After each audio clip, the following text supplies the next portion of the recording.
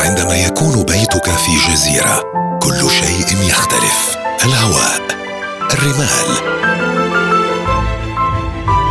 لون البحر والنخيل. بين مزيج من ألوان الطبيعة الساحرة لا بد وأن تختلف الحياة. بو ايلاند نبني بيتك هنا.